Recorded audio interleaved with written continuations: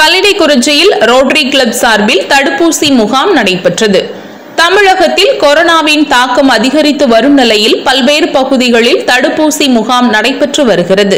இதில் ஒரு பகுதியாக நெல்லை மாவட்டம் அம்பாசமுத்திரம் அருகே உள்ள வைராபி குளத்தில் உள்ள அரசு ஆரம்ப சுகாதார நிலையத்தில் வைத்து ரோட்டரி கிளப் சார்பில் தடுப்பூசி முகாம் நடைபெற்றது. இதில் தொண்ணூறு பேர் கலந்து கொண்டு பயனடைந்தனர். மேலும் மருத்துவமனைக்கு தேவையான காய்ச்சல் அறிகுறிகள் காட்டும் கருவி உயரம் அளக்கும் கருவி மற்றும் இடை அளக்கும் கருவி இரத்த அழுத்தம் பார்க்கும் கருவி உட்பட மருத்துவ சம்பந்தப்பட்ட பத்து கருவிகள் வழங்கப்பட்டன.